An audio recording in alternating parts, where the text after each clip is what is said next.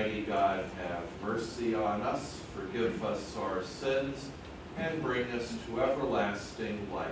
Amen.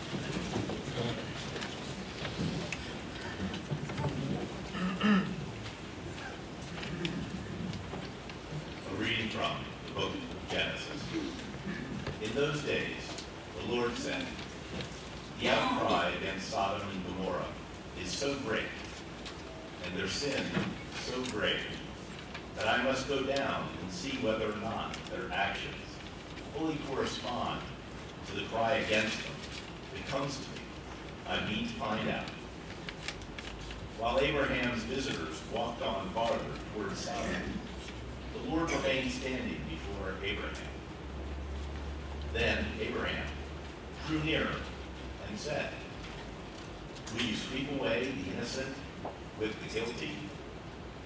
Suppose there were 50 innocent people in the city. Would you wipe out the place rather than spare it for the sake of the 50 innocent people within it? Far be it from you to do such a thing, to make the innocent die with the guilty, so that the innocent and the guilty be treated alike. Should not the judge of all the world act with justice? The Lord replied, If I find fifty innocent people in the city of Sodom, I will spare the whole place for their sake. Abraham spoke up again. See how I'm presuming to speak to my Lord, though I am but dust and ashes. What if there are five less than fifty? Will you destroy the whole city because of those five? He answered, I will not destroy it if I find forty-five there. But Abraham persisted, saying, What only forty are found there? We replied, I would forbear doing it for the sake of the forty. Then Abraham said, Let not my Lord grow impatient if I go on. What if only thirty are found? He replied, I will forbear doing it if I can find but thirty there. Still, Abraham went on. Since I have thus dared to speak to my Lord, what if there are no more than twenty? The Lord answered, I will not destroy it for the sake of the twenty. But he still persisted. Please let not my Lord grow angry if I speak up this last time. What if there are at least ten there? He replied, For the sake of those ten, I will not destroy it. The word of the Lord. Thanks be to God.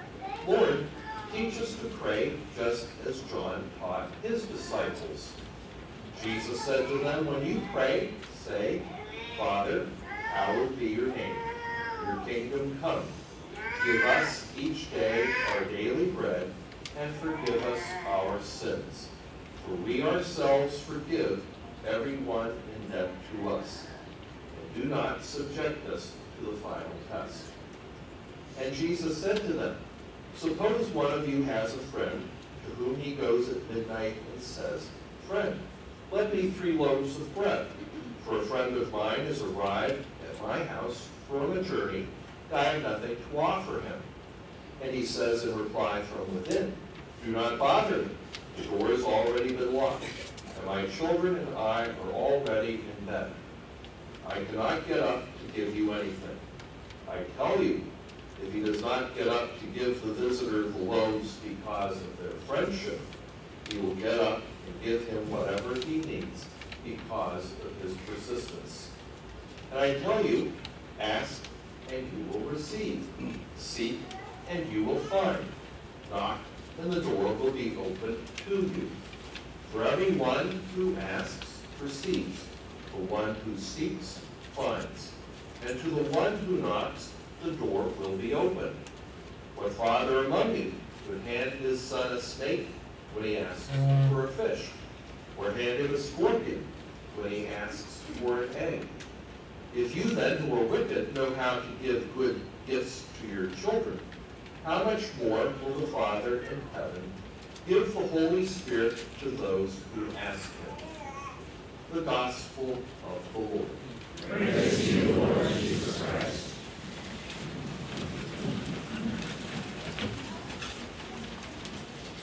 Little Tony wanted a brand new bike. And when he went to church, he heard this gospel. Jesus said, Ask and you will receive. So that night, little Tony knelt down by his bed for his prayers, and he said, Dear Jesus, I need a new bike. Will you please give me a new bike? And by the way, I like red. So, amen. A week went by, no bike. So little Tony knelt down Sunday night for his bedtime prayers, and little Tony said, Jesus, I guess you didn't hear me the first time. So therefore, I'm just saying, once again, I really would like a new red bike. Please, I would like a new red bike. A week passed, nothing happened. So, Tony thought, hmm, I know what I'll do. So he took the statue of his Blessed Mother, Blessed Mother Mary, from his room, wrapped her in a towel, tied her up with string, and put her in the closet. That night he prayed, Dear Jesus, if you ever want to see your mother again, you'll give me a new red bike. Well, we pray like that? Uh, it's a funny story, although I won't tell you who little Tony is. But anyway, uh, do we pray that way? When we think about it, we can easily slip into praying like pagans. So pagans back at the time of our Lord had all kinds of gods, the Greeks, Romans, and so on. And they go to their different temples for a different thing. So this god was in charge of that, and so on. And if you didn't make your offering count, so to speak, like the God didn't hear your prayer, but you just went to the next temple. Do we do that in a way? Like, we act like pagans saying, well, I only pray when I really need something. Then, do we get angry when we don't receive the answer that we want? I've known people who've abandoned the faith because they prayed fervently, they didn't think they received the right answer, so they stopped believing. And then also I've known people who threaten, like, Lord, if you don't give me this, I'm leaving the church. We know people like that in our own families. So we have to remember that we're called to pray as a child of God. Think of our first passage from Genesis. Abraham lived about 1,800 years before our Lord. He was chosen by God to be the father of the Jewish people. God made a covenant with him, that bonding of life and love, the sign of which was a physical sign, circumcision, a blood sign. But here we knew, or we know that Abraham knew he was a child of God.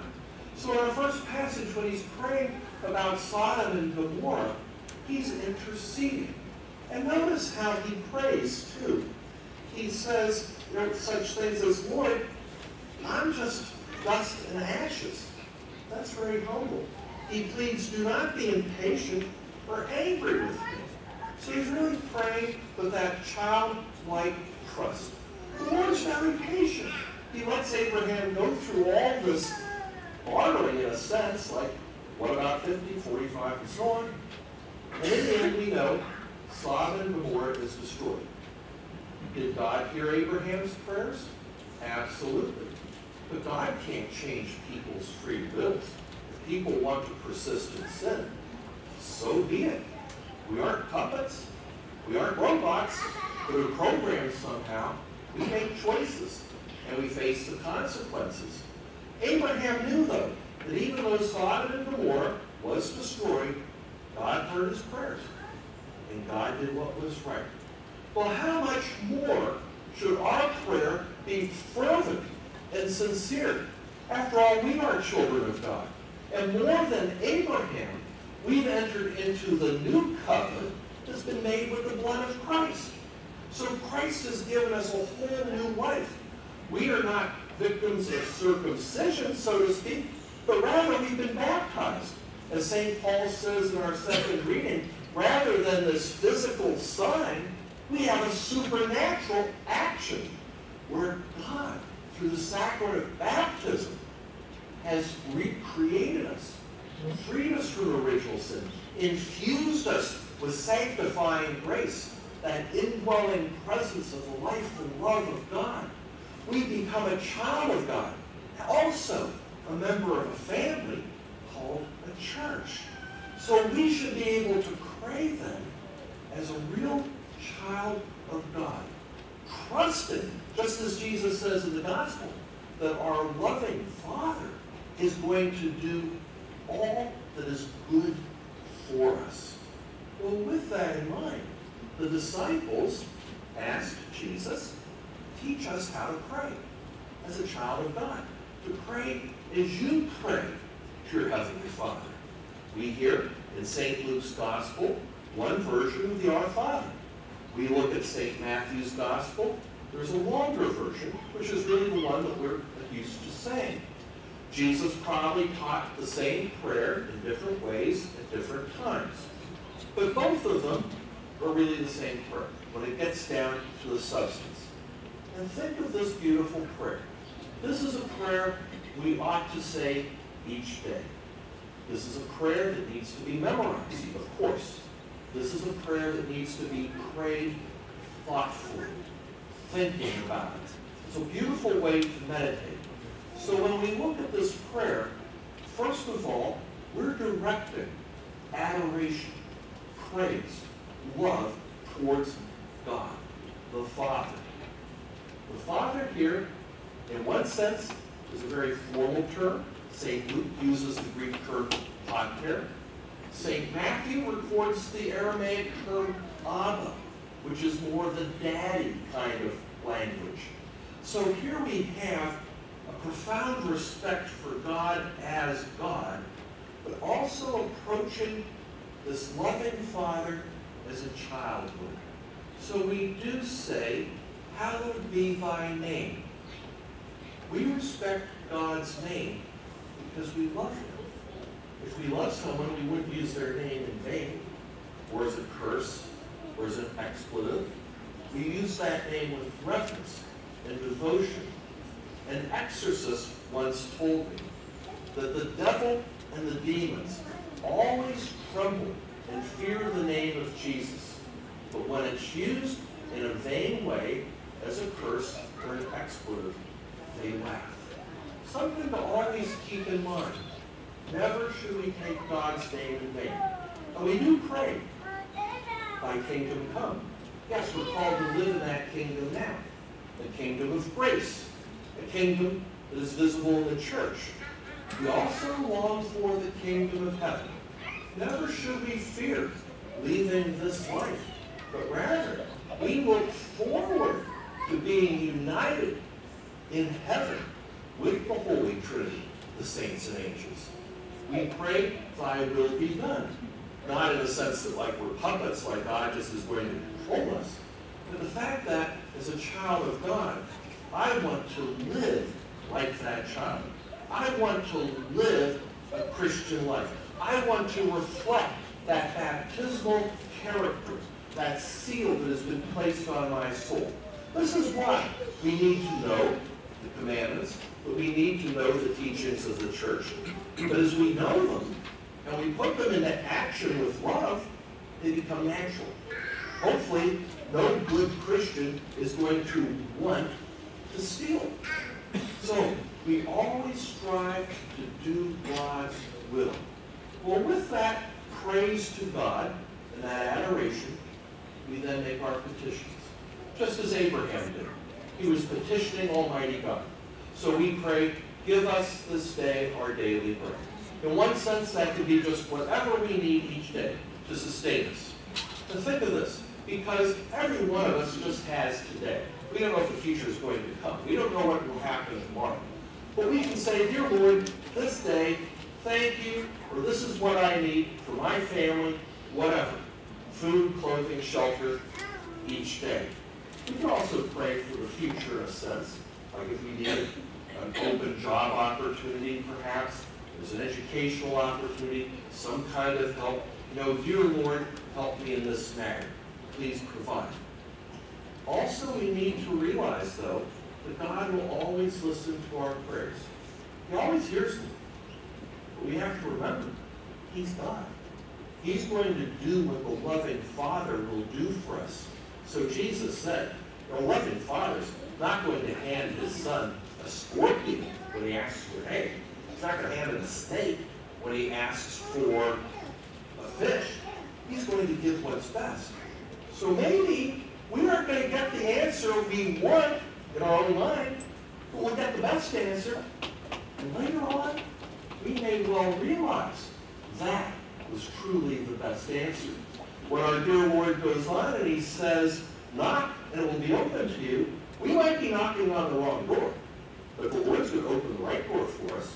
We may be seeking something, but what we're going to find is what is really good for us. So we always have to have that trust that the Lord will provide for us. Another point here is that the word daily doesn't quite capture the meaning. In the Greek text, it's epiousios, which means this super substantial kind of bread.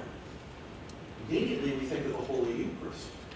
But we're praying for the Eucharist because with the Eucharist, we know Christ is dwelling in our soul. The Holy Trinity really is renewing, strengthening that sanctifying grace. With the Eucharist, we have the strength to face the day. There's the key. Because what comes next in this? Well, when our Lord prays, he says then that I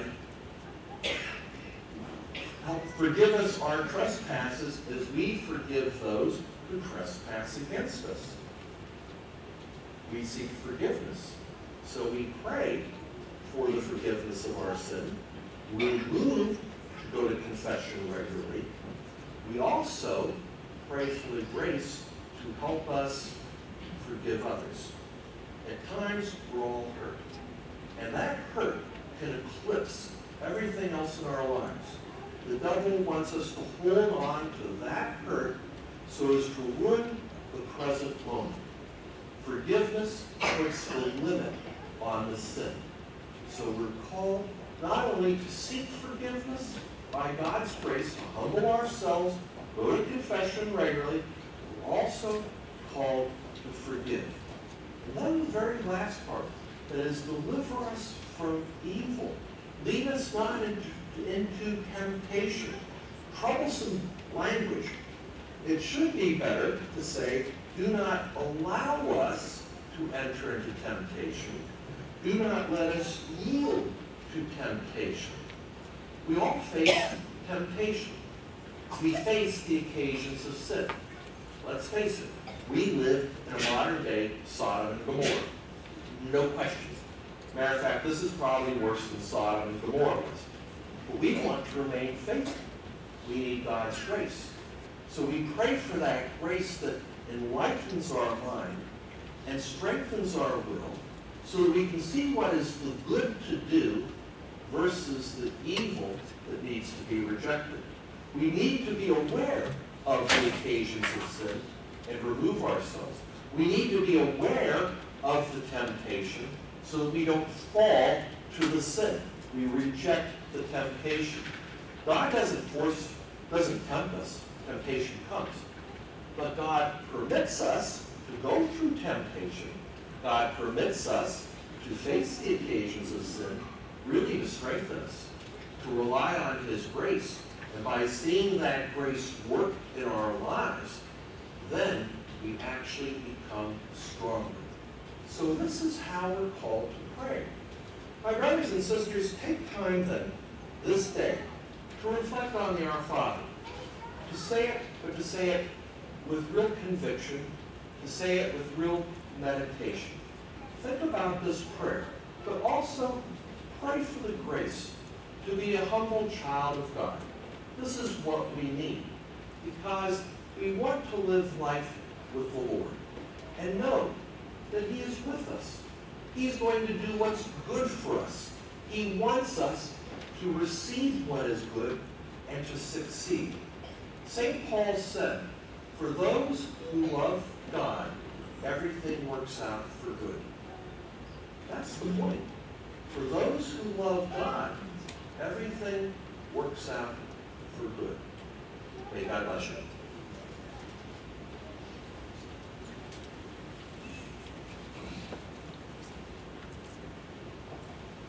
Let us stand and confess our faith. I believe one God, Father Almighty, maker of heaven and earth, of all things visible and invisible. I believe in one Lord Jesus Christ, the only begotten Son of God, born of the Father before all ages, God from God, light from light, true God from true God, begotten not made, consubstantial with the Father. Through him all things were made. For us men and for our salvation, he came down from heaven and by the Holy Spirit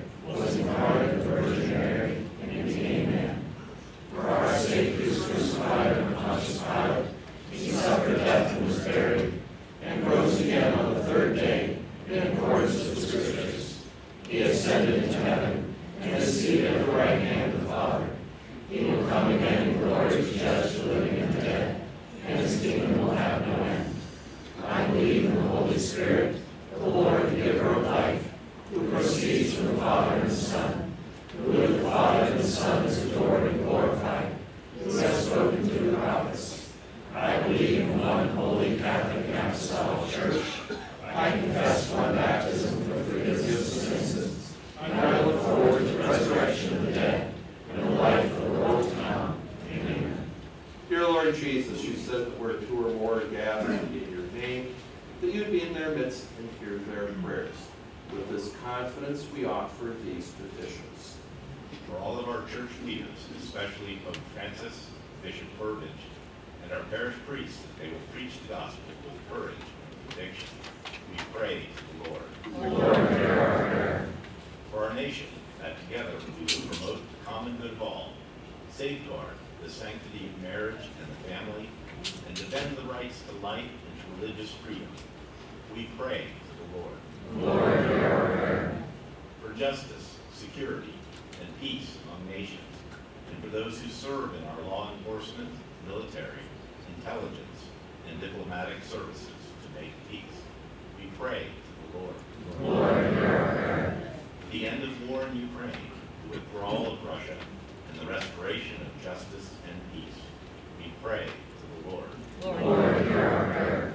For Christians who face persecution and genocide, especially in communist and Islamic countries, that the Holy Spirit will keep them strong in the faith, and for all non-believers, that the Holy Spirit will move them to faith in our divine Savior. We pray to the Lord. Lord, hear our prayer. The safety of the construction workers and the success of our building project, we pray to the Lord. Lord, hear our prayer. For our parish families traveling on vacation, they will be safe from all harm. We pray to the Lord. Lord, hear our prayer. For the acceptance of vocations to the priesthood and religious life, that young men and women from our own families will heed Christ's call and offer their lives to him who gave his life for us. For our parish seminarians, Deacon Tony Bennett, Deacon Mike Nugent, James Joseph, and Gabriel Godet, and for Ann Whalen and Caroline Jones, postulants with the Nashville Dominicans. We pray to the Lord. Lord. For the sick and homebound, for our deceased, we pray to the Lord. Lord. For living and deceased parishioners for whom this Mass is offered, we pray to the Lord. Lord, hear our prayer. For our own personal intentions, which we offer in the quiet of our hearts, we pray to the Lord. Lord, hear our prayer. Heavenly Father, we ask you to hear all our prayers, even those prayers held within our hearts, and to grant them in accord with thy divine will, through Christ our Lord. Amen. Calling upon our Blessed Mother, we pray. Hail Mary, full of grace, the Lord is with thee. Blessed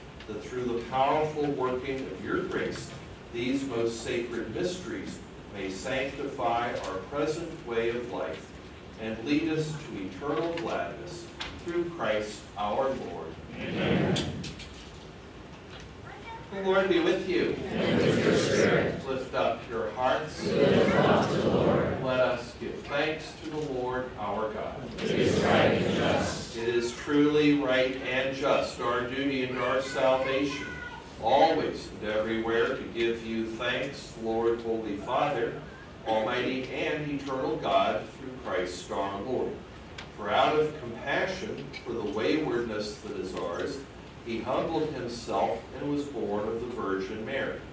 By the passion of the cross, he freed us from unending death, and by rising from the dead, he gave us life eternal. And so, with angels and archangels, with thrones and dominions, with all the hosts and powers of heaven, we sing the hymn of your glory, as without end we acclaim.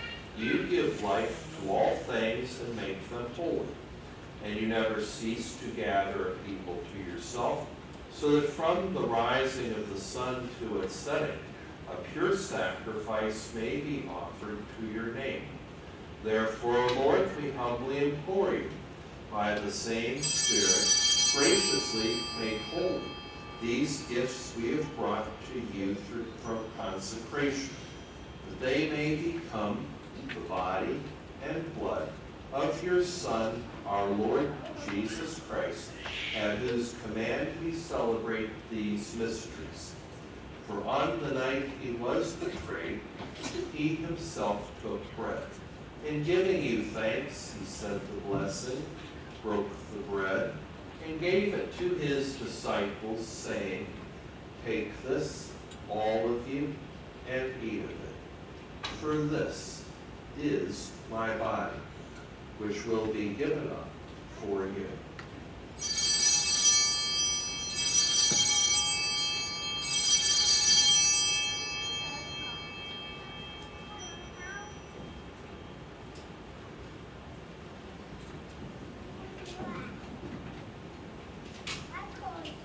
In a similar way, when supper was ended, he took the chalice, and giving you thanks, he said the blessing, gave the chalice to his disciples, saying, Take this, all of you, and drink from it.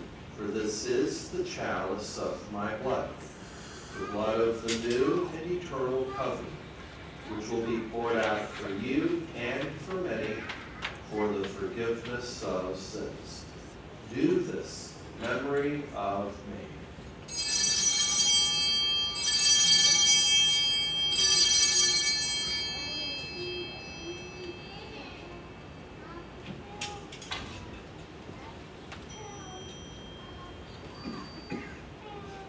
The mystery of faith. We proclaim your death, O Lord, and profess your resurrection until you come again. Therefore, O Lord, as we celebrate the memorial of the saving passion of your Son, his wondrous resurrection and ascension into heaven, and as we look forward to his second coming, we offer you in thanksgiving this holy and living sacrifice. Look, we pray upon the oblation of your church, and recognizing the sacrificial victim by whose death you will to reconcile us to yourself, grant that we who are nourished by the body and blood of your Son and filled with his Holy Spirit may become one body, one spirit in Christ. May he make of us an eternal offering to you, so that we may obtain your, an inheritance with your elect, especially with the most blessed Virgin Mary, Mother of God, with blessed Joseph, her spouse, with your blessed apostles and glorious martyrs, with St. Agnes, with all the saints, on whose constant intercession in your presence we rely for unfailing help. May this sacrifice of our reconciliation, we pray, O Lord, advance the peace and salvation of all the world. Be pleased to confirm in faith and charity your pilgrim church on earth, with your servant Francis our Pope, and Michael our Bishop, the order of bishops, all the clergy, and the entire people you have gained for your own. Listen graciously to the prayers of this family, whom you have summoned before you. In your compassion, O merciful Father, gather to yourself all your children scattered throughout the world. To our departed brothers and sisters, and to all who are pleasing to you with their passing from this life, give kind admittance to your kingdom. There we hope to enjoy forever the fullness of your glory. Through Christ our Lord, through whom you bestow on the world all that is good. Through him and with him and in him, O God, Almighty Father, in the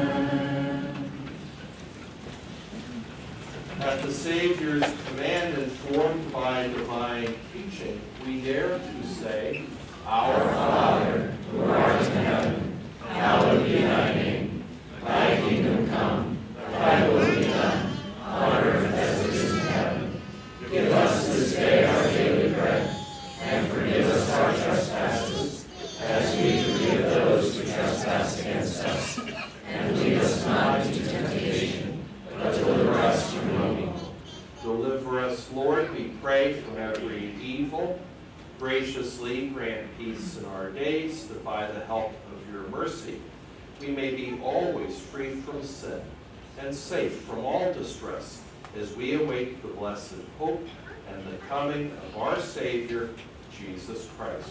For the kingdom, the power, and the glory now and forever. Lord Jesus Christ, who said to your apostles, Peace I leave you, my peace I give you. Look not on our sins, but on the faith of your church. And graciously grant her peace and unity in accordance with your will, who live and reign forever and ever. Amen. The peace of the Lord be with you always.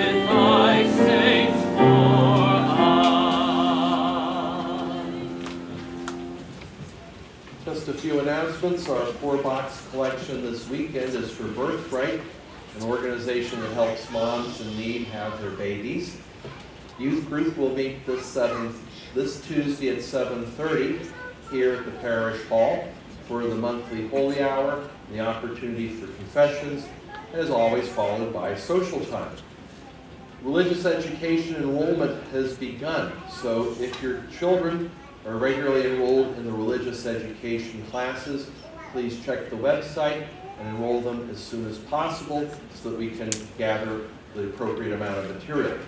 St. Joseph's League meets this Thursday here at Parish Hall at 7:30. So all men of the parish are invited. Even if you haven't been before, you're welcome to come. We start with some social time, beer and pizza, and then we'll continue our discussion of Father Calloway's consecration to St. Joseph. So again, all men of the parish are invited.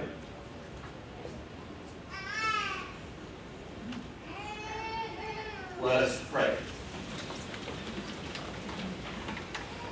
We have consumed, O Lord, this divine sacrament, the perpetual memorial of the passion of your Son. Grant, we pray, that this gift, which he himself gave us with love beyond all telling, may profit us for salvation. Through Christ our Lord. Amen. The Lord be with you. And with your spirit. May Almighty God bless you, the Father, the Son, and the Holy Spirit. Amen. Go forth, the Mass is ended. Thanks be to God. Saint Michael, The archangel, defend us in battle. Be our protection against the wickedness and snares of the devil. May God rebuke him, we humbly pray. And do thou, o Prince of the heavenly host, by the power of God, cast into hell Satan and all evil spirits who